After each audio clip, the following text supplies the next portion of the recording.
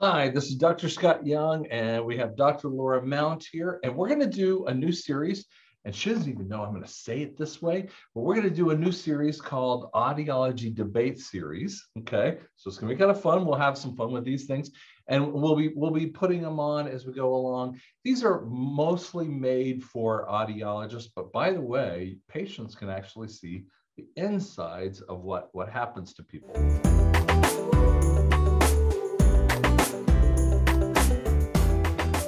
So what we're first going to talk about is bundle versus unbundle, okay? And you're also going to see a different way of debating. Now, I want to take you back because I'm almost 56, so I've got that, you know, in between, pretty close to baby boomer kind of mentality.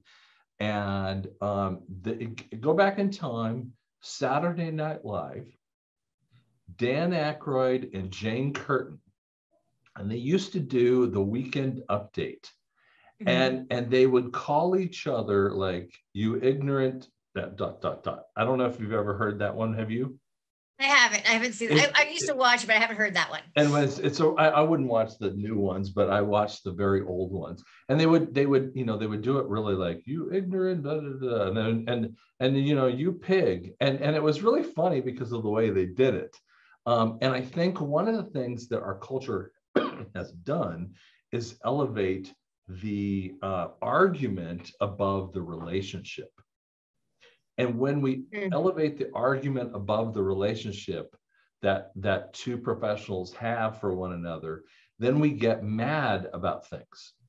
And and and we you know we do that with you know with a football team and we do that with political conversations and we do that you know sometimes with religious conversations but we don't even realize that you know we're supposed to ha- do this in love. And the, and the re- response is is i'm not talking about sex love. I'm talking about friendship love the brotherly love okay?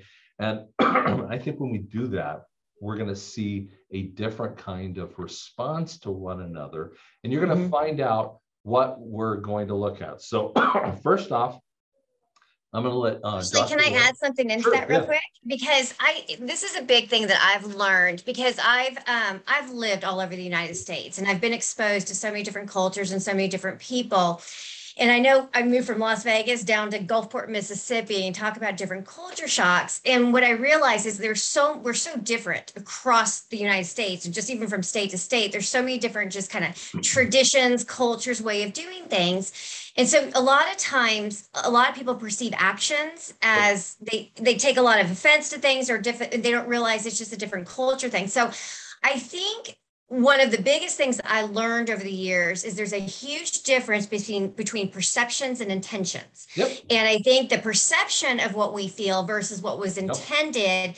that is where I think the majority of the miscommunication is at. Right. Because we have a lot of good intentions, but sometimes the way it's perceived yeah. is a whole different way, you know. Exactly. So I think a lot of times if we can just kind of i think that's if we can stop the elevation the escalation a lot of these arguments are just this talk and we could say here's my intent you know, and I don't want you to perceive this way, or just having maybe starting more of a baseline there, if that makes any sense. Right, and and, and I think there's uh, there's some strong debates that people can get into, and mm-hmm. uh, and they can get passionate about it, but yes. they can walk out and, and and clap hands with one another afterward, or whatever that thing that you want to do.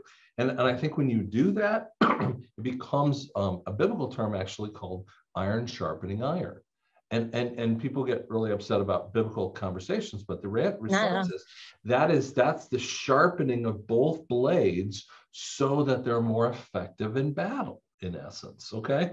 So it actually is an art of war conversation that mm-hmm. you know uh, sun tzu actually talked about. So so i'm going to let uh, dr laura go ahead and hit the unbundle concept.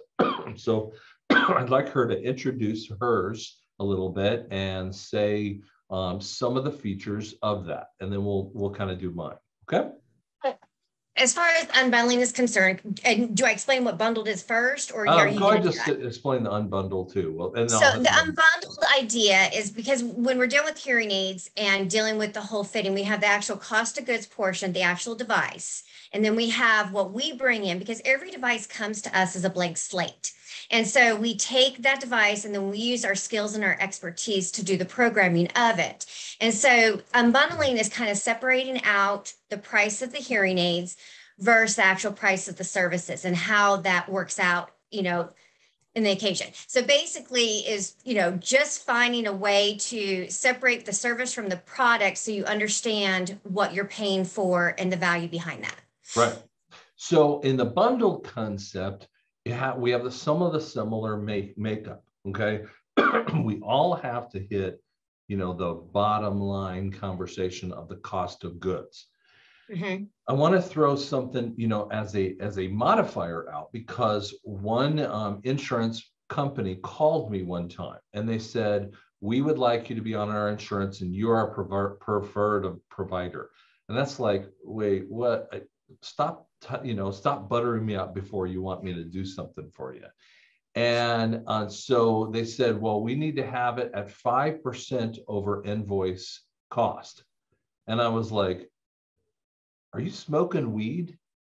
You know, and, and I'm like, and, and I said that to the guy on the phone. He's like, what do you mean? And, I, and I'm like, listen, I mean, you know, so I got, I got to get like, you know, hundred bucks or something like that. And I got to do all the services for the lifetime. And he goes, yeah. And I was like, shut up, go away, you know, and, mm-hmm. and you know, that's, that's an undervalued concept. So one of the things that happens basically on the bundled is that what we do is we take all the services and all the setup that we that we believe that we're going to do and with mm-hmm. our patient and kind of bundle it up together so that they have one package and and that is that is one way of handling that kind of thing by the way both of them there's no ethical or unethical thing on right. this this is you know, this is just a thought process, a business concept. And there are effective ways of looking at both of those things. And you'll find at the end which one we actually use. It's going to be funny, pretty funny when you see that too. So, um, okay, so why don't you jump in to some of the anti points that if you were, you know, because you're taking the unbundle, why don't you do mm-hmm. some of the, the cons against the bundle? Oh, against the bundle portion of it. I mean, there's because I've mm-hmm. lived all over the United States, um, there's been a lot of different things. I mean, like we have, I mean, I think like if you a lot of times we compare the bundled model to orthodontia. And but the thing is, is having a child that's gone through braces, the orthodontia rituals are very similar. It's like there's yeah. so many visits, there's so many follow-ups. And I think what I kind of realized most is that we're trying to, I feel like we're trying to standardize a level of care for a patient that can't be standardized.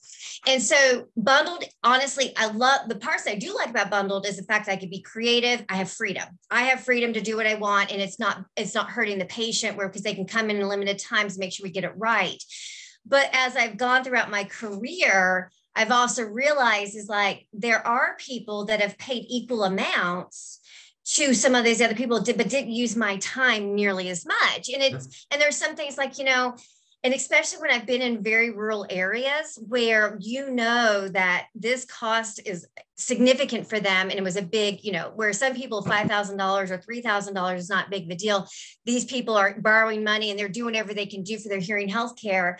And you just want to make sure that are we truly being representative of the amount of services that they're going to use over the long term? There's so many factors to take into consideration. Great we have point. people that are getting older are they you know some people are terminal is it fair to charge somebody a whole bundled amount when somebody may be dying of cancer in two years or you have your snowbirds that you know that they're going to be going to Arizona or Florida and they're only going to need your services half the year. So I do think there's definitely something we need to start modifying and not necessarily look at it as a whole bundled amount.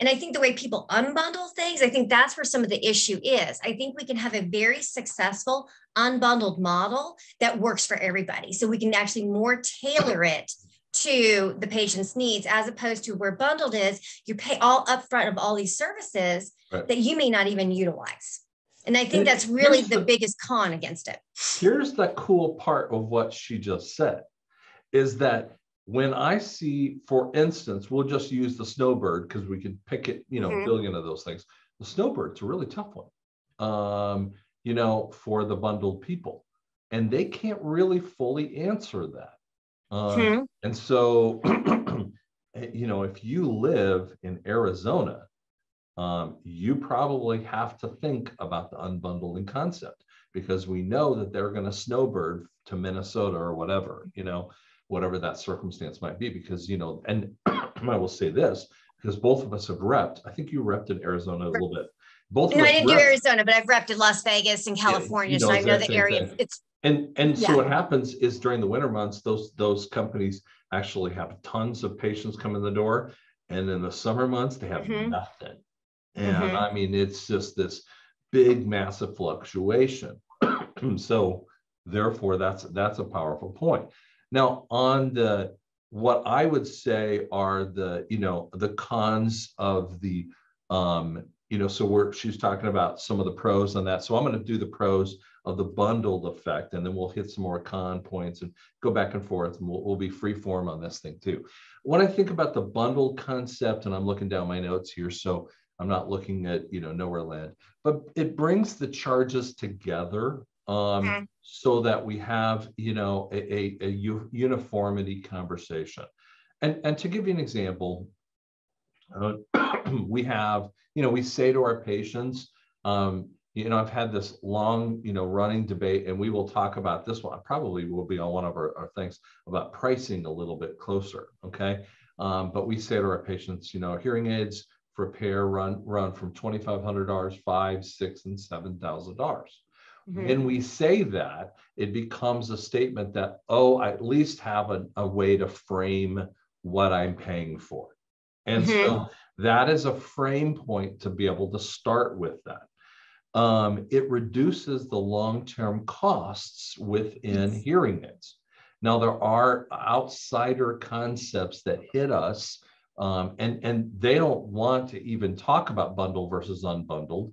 Um, and they're called third party mm-hmm. organizations. Mm-hmm. So insurances try to show up and bring in their unbundled thing, and then they expect you to take pennies on the dollar for to mm-hmm. fix their all of their their idiot ideas. Um, and and we have a, a, a ReSound, and and we've had Oticon and Phonak and all these different companies that have bought into little things and think mm-hmm. that they want to send the scraps out to, you know, Dr. Scott or Dr. Laura, and we say, uh-uh, I'm not doing it for, you know, pennies on the dollar kind of thing. And and so, you know, it it creates the, another thing too. It creates a, a value for the patient.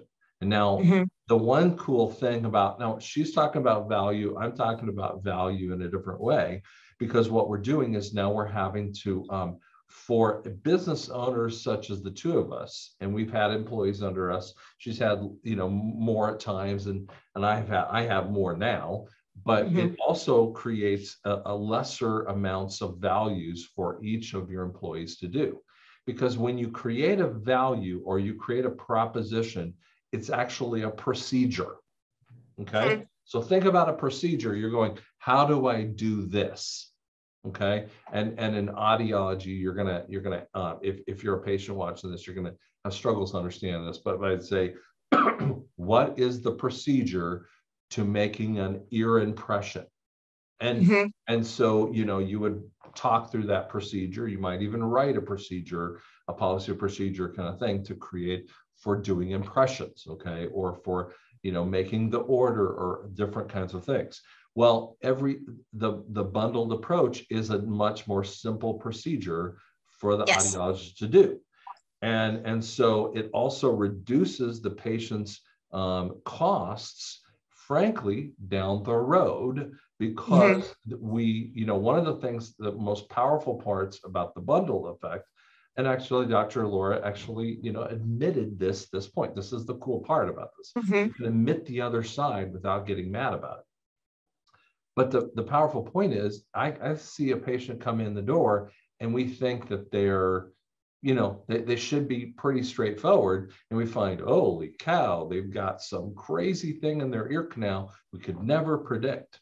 They got a crazy response to hearing that we never could have predicted. Mm-hmm. Or they've got some some uh, some circumstances like, for instance, one of the most powerful problem. I mean, one of the things we're, we're working with the patient right now is she said she understood uh, her cell phone technology. And we found out that she didn't. And she keeps coming back with problems with unhooking of the Bluetooth and issues with Right. that, and we're having to find creative solutions. How could we know that without knowing what her her phone was at the time? And then she changed it, got the wrong kind of phone, and and that's where the bundled approach actually is saving her a a lot of money over the years. Sure. Because she's she's not been paid for. I mean, not been charged with that kind of thing too. So that's that's my point. But why don't you hit about some of the the cons a little bit stronger, maybe about uh, you know against the bundled approach? Do you want to hit that I one? think, I think because I, I mean our industry is a really really interesting thing. I mean like and I, I don't like to I, I use car analogies even though I hate the fact that the car salesman. Yeah. But like when we go and we actually physically see a car, you can um you can tell the difference for Toyota between an Avalon, for a Camry, the Corolla, you know, the different things because there's definite you know different variations but hearing aids are different they're, the average consumer, there's no way by looking at a hearing aid that they'd have any clue what technology is Yeah, inside. so how can you tell me what what that is right there? Yes.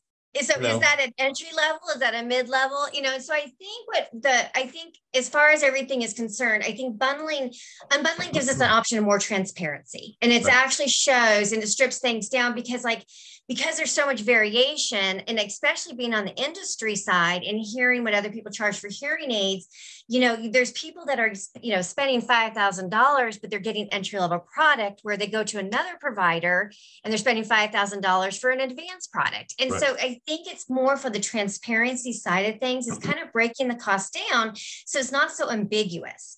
Yeah. You know, it's not. And I think that as far as unbundled is concerned, I think that people get in their ideas in their head. They take their revenue that they need per hour, and then they say, "This is how much I need to make," and they charge a visit.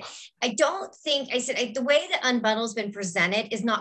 I don't think the correct way to do it. Correct. And I mm-hmm. don't like what third parties have done. And actually, if I, if you don't mind, I'd like to Yeah. share some of my experience because Yeah. I was actually dead in on the Unitron side during the third parties because we actually were the private label.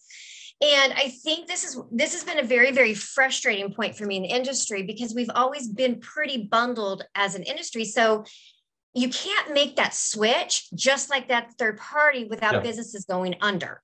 And that is, I think, why we've been fighting it so hard because it went from we have all of this to we can have enough revenue to move forward, to sustain our offices, to become audiologists. And all of a sudden, the third parties came in, slashed the fitting fees and fifths to six to, you know, it's crazy to where we don't even.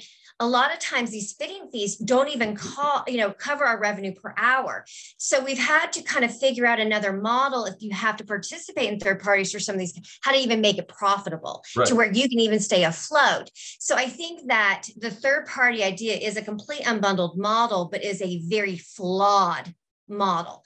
And so I, I, so I think there's a way to do it. I, so I, I think unbundling is like, there's a way, and I've played around with a lot of different things, but I think it's kind of like taking the patient, taking whether they, and they may have vestibular stuff, they may have tinnitus as well, and not treating just as a hearing aid and a hearing loss, but treating the whole body. Yep. And kind of like we're dealing as a more audiological therapy, treating it as a true medical model. So, does this patient need tinnitus therapy services? That's a different set of, you know, and that's they're going to require a lot more than the average person with just a little noise notch at three to four K. Yep. And so that's kind of what I like there. Is like I have a patient, really, I don't need a lot of work. It's pretty maintained. They just need a little bit of help. They don't need me a lot. Is it really fair for them to pay the same amount as someone who has tinnitus, vestibular therapy that needs vestibular therapy, all this other stuff Right. that goes along with it? You know, so how do we create that model and make it to where we're treating as a true medical individualize the patient? Yep. And so, and I think uh, I think one of the other um, the points that I'm going to hit on the on the set on the opposite side of that is when we talk about bundle versus unbundle, we try to pull over the physician model. And and what you don't know is that physicians actually get paid for a billion different little codes in there. Right. Right. And so and and they're getting paid for every little thing.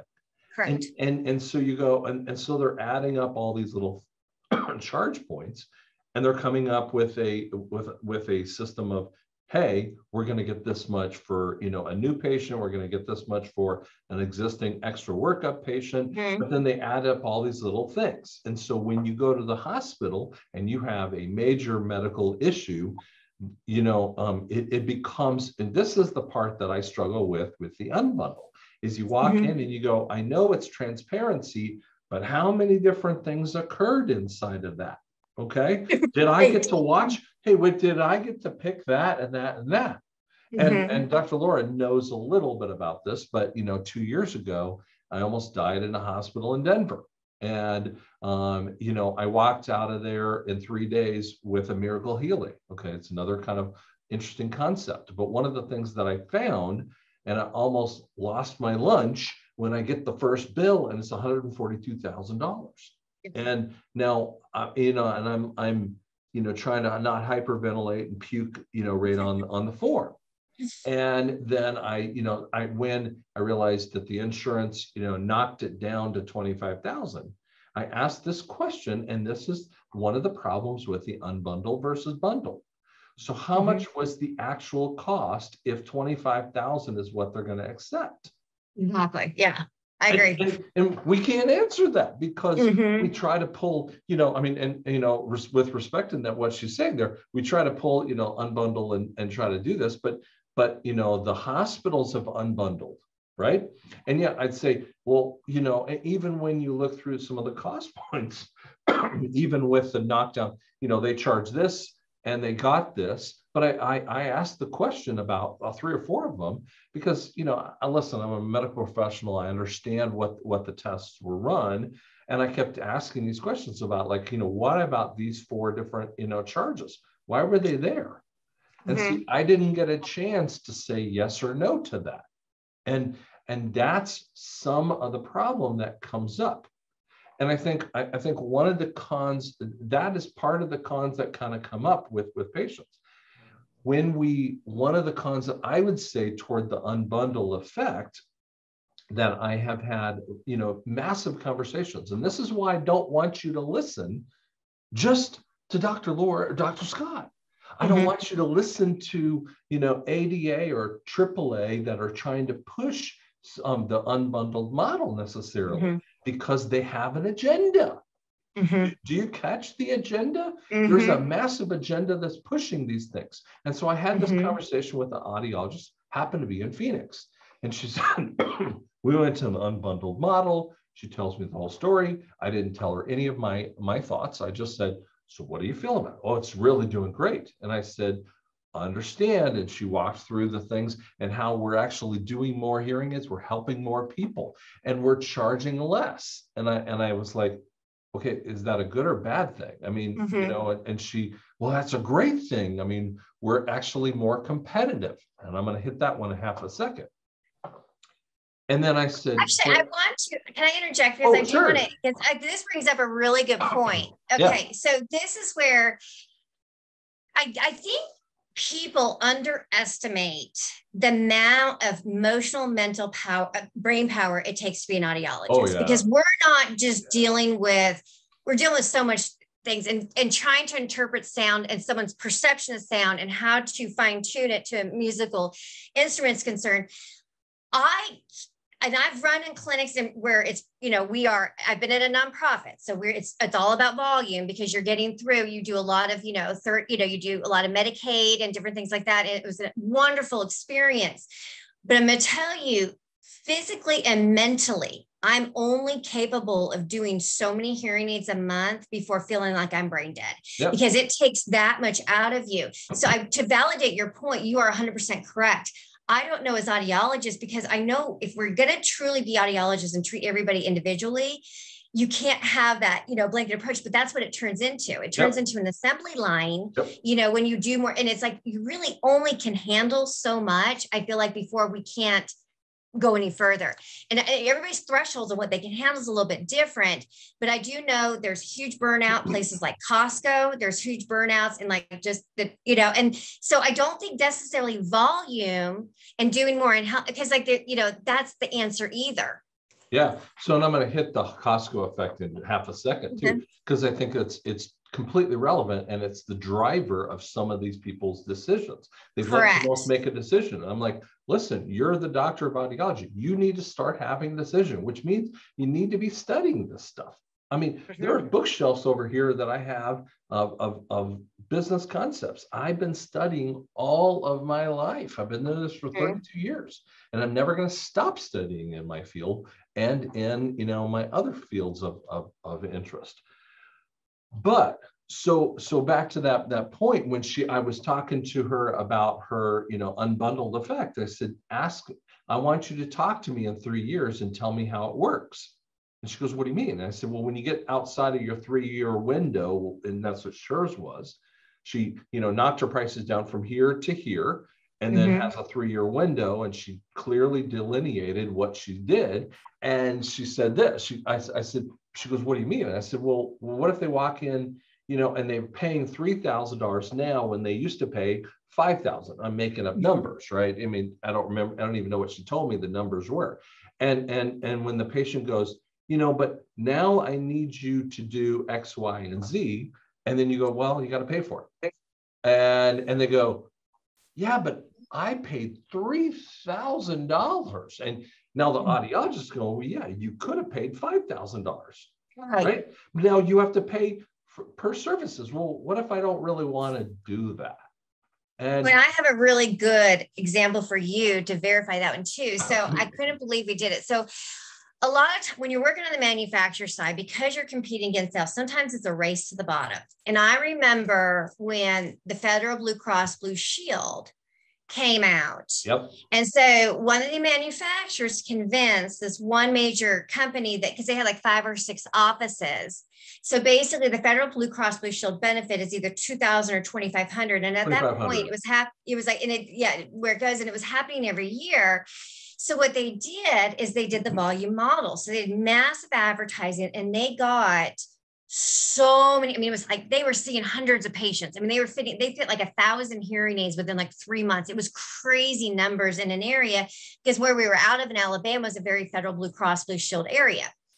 So, but the thing was, they undercut, so they kind of went through, we're going to get you hearing aids for what your benefit will cover, no out of pocket expense. Right. So they worked really hard. So you just conditioned those patients now Yep. to only pay $2,500. And I'm like, it's not sustainable. Yep. And it's not a sustainable model. And the fact of the matter is, at the end of the day, there's so much work that goes into it. So, to very much validate the point, it's like, yeah, they did great for that one year, but now your patients didn't pay for anything out of yeah. it. What's going to happen next time? And what happens if the benefit goes away? Yeah.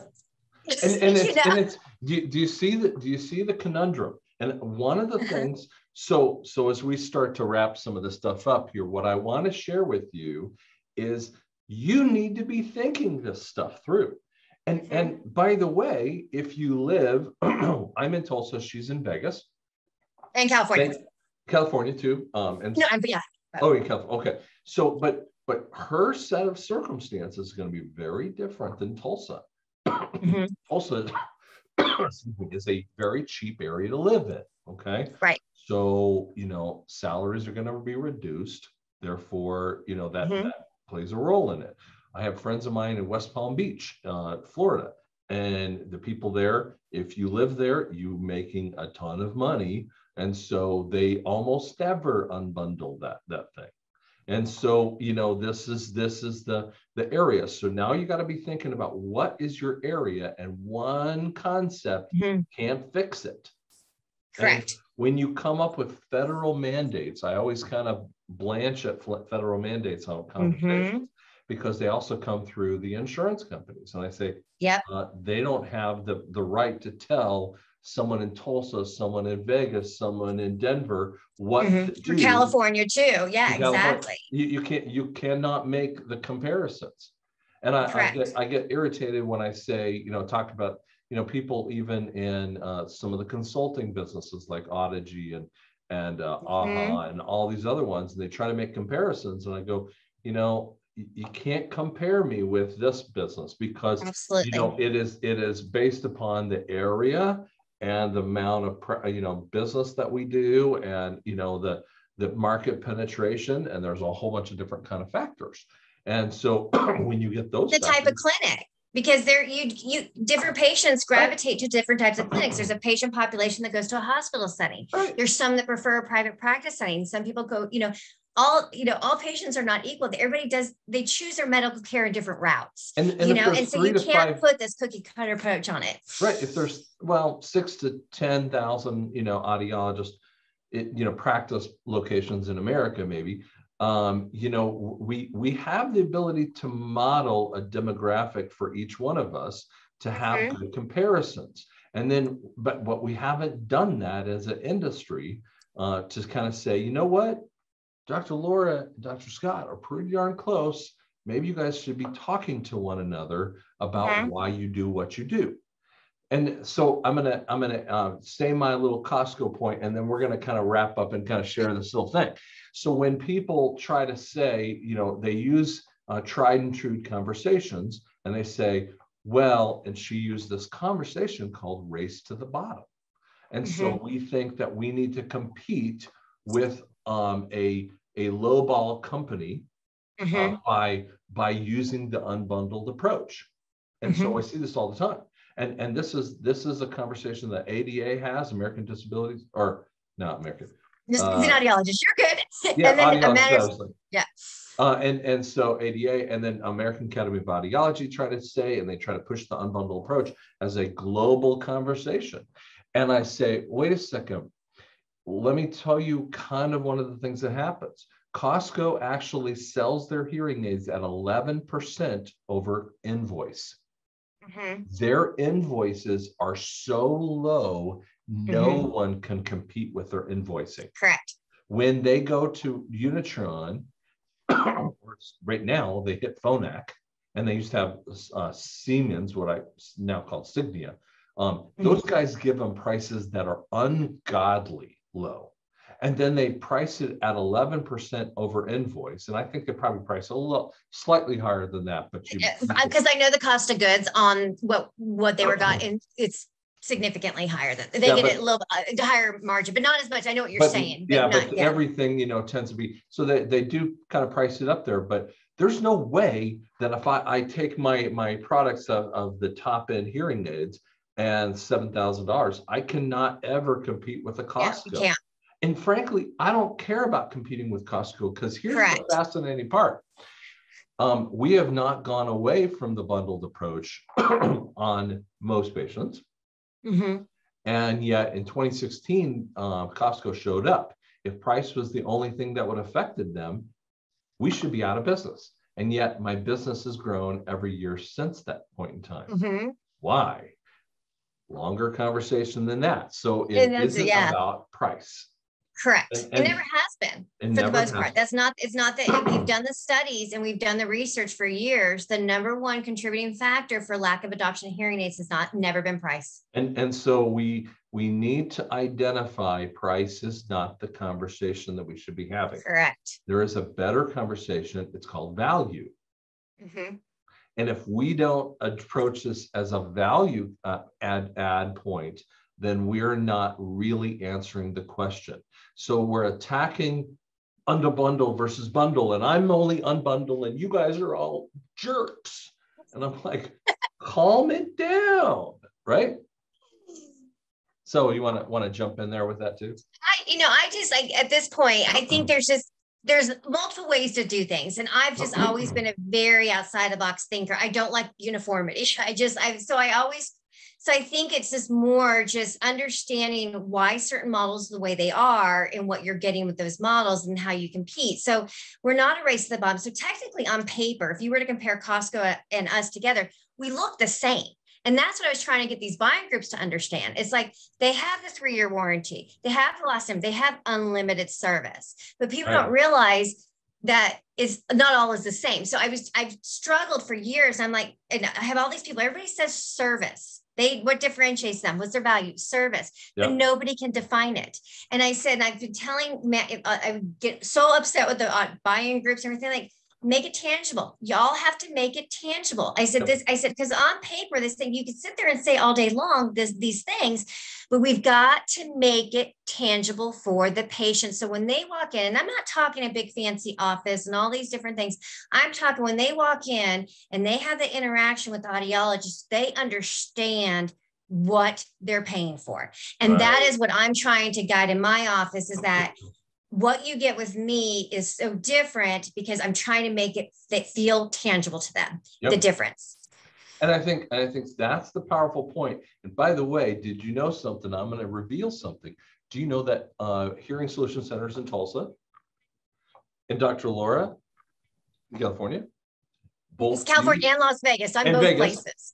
both both of us use unbundle and bundle at the same time mm-hmm. for different circumstances. You correct. Well, what? You know, you're just you're playing with the devil and and and and the angels the same time. Like, no, no, no, no. There's there a time and place for everybody, and I think exactly. it's a unique solution. You know. And so you might say, well, that just sounds unreasonable and wrong and everything else. And you you need to understand why we do what we do. And there are pit places. Let me give you an unbundled concept. We have patients who come from the VA. Mm-hmm. And they got their hearing aids from the VA, but the VA in the Tulsa area is a problem. Um, and it's not because they're bad people, but because right. the process is bad. And yes. um, they have been giving their hearing aids in a box.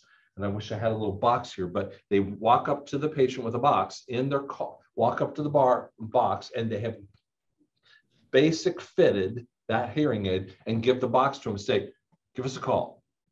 Like, what? Yeah. And and and we have seen these, and they they claim COVID as their reason for that that point, but it's just laziness. And mm-hmm. so we have actually created an unbundled concept of we will do fitting fee and we will do these fees and these these are the things that we do that. Absolutely. And there is a very reasonable answer to a, a situation in your market that you might have to do. Now, I will tell you this, uh, the Tucson, uh, uh, now this is years ago, but the Tucson VA was one of, excuse me, was one of the best VAs I had ever in, interacted mm-hmm. with. And so there are amazing VAs and there are some bad VAs, and that's just, right. you know, regional and maybe the people with that that circumstance too. So um, so I think what you're what you're seeing is that what we've done, what Dr. Laura and I have done, is admitted each other's faults and and um, things that happen inside of the concepts with that too. So I think mm-hmm. if we look at that, I think that will help you kind of get an idea. Do you have do you have a statement you want to jump in and, and say at the end here? No, I'm good. I think it just I think there's a, hold on real quick. Sorry, Tony. I had someone walk in and fix my life. I just, I, I just, I think that just in general, I think that um, I've studied this, I've studied this industry a very long time, and I have a very, um, you know, I've I've practiced in ENT, I've practiced in retail, I've had my own private practice, I've done, I'm um, do the C&P side, I've seen the workman's comp side, I've been in the deep south and very rural areas where per capita income was 20 something thousand a year. Then i've lived in california which is very different been in the bay area. Big i mean so i have a really good idea. And i think that in general we need to have not there's not i think what we have to got we have to get away from there's not a right or wrong answer to anything. right. Right. and i think that i'm a gray i'm a world of gray and I have a world of options. And I'm a big believer there's always a creative solution. And right. I think that we just, I said, for the ones that want to work together with us, I would love just audiologists to get together and say, there's really no right or wrong way. We just have different ways of doing things and let's bridge them all together and come up with so many different concepts because our patient population is so unique. Yes. And we understand different things about different populations. And imagine how powerful we would be if we bring all of that together and come up with great solutions to be able to make that to where we, we are seen as a real medical profession and i think i think we've got to do that but but it all starts up here yep. um, and and mm-hmm. we do that as a profession Correct. Uh, and by the way, this is a struggle for, I mean, these kinds of struggles are in every single profession, whether it's absolutely orthodontics, whether it's orthopedics or neurology or in audiology that you're going to have this problem that's going to come up and they're keep they need I, i've always said this you need to redefine yourself almost every year and if yes. you're not doing it you're screwing it up so I think that's that. We'll we'll kind of leave it off on that that kind of point. I just thanks so much for Dr. Laura for spending some time on that. And um, as we as we do this, we will be doing more of these kinds of little debatey things on difficult topics, and you'll see how we actually handle them.